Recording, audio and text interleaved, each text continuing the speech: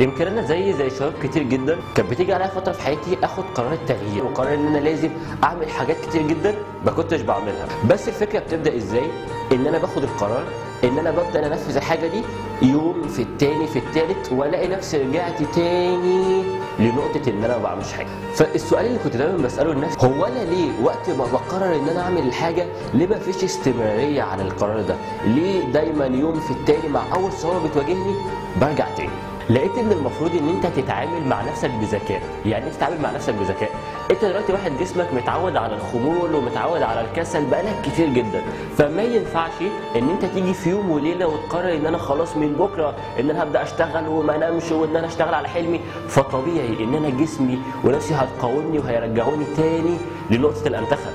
فلازم أتعامل مع نفسي بذكاء. طب أتعامل مع نفسي بذكاء إزاي؟ لازم أول خطوة إن أنا أبدأ أحدد إيه الحاجات السلبية اللي أنا بعملها في حياتي وعايز أغيرها.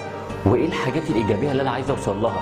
وأبدأ أرتب الكلام ده من الأسهل في التغيير للأصعب. أبدأ أشوف السلبيات اللي أنا بعملها في حياتي وأبدأ إن أنا أغيرها واحدة واحدة.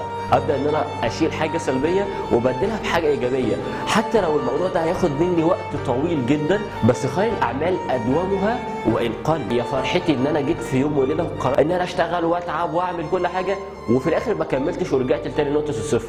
ما أنا ما استفدتش حاجة. لكن أنا ممكن أمشي الموضوع خطوة خطوة وأطلع السلم سلمة سلمة بس أنا عارف إن أنا هوصل للوقت اللي هنجح فيه.